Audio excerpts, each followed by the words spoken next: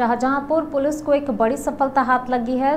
Police की मुखबिर की सूचना पर मादक पदार्थ तस्कर को गिरफ़्तार किया गया है, जिसके पास से पुलिस ने डेढ़ करोड़ कीमत की स्मैक बरामद की। आपको बता दें कि पकड़े गए तस्कर को पुलिस ने जेल भेज दिया है। पुलिस ने बताया गिरफ़्तार किया गया तस्कर के पास से चार सौ ग्राम स्मैक बरामद की है, जिसकी अंतर्राष्ट्रीय बाज़ार में कीमत लगभग डेढ़ करोड़ रुपए बताई जा रही है।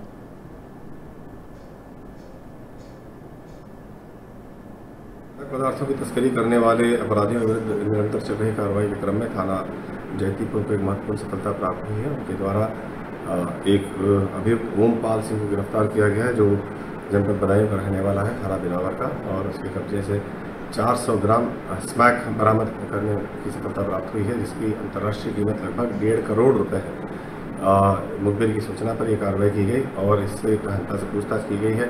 जो अन्य तथ्य प्रकाश में उस पर हमारी कार्रवाई चल रही है।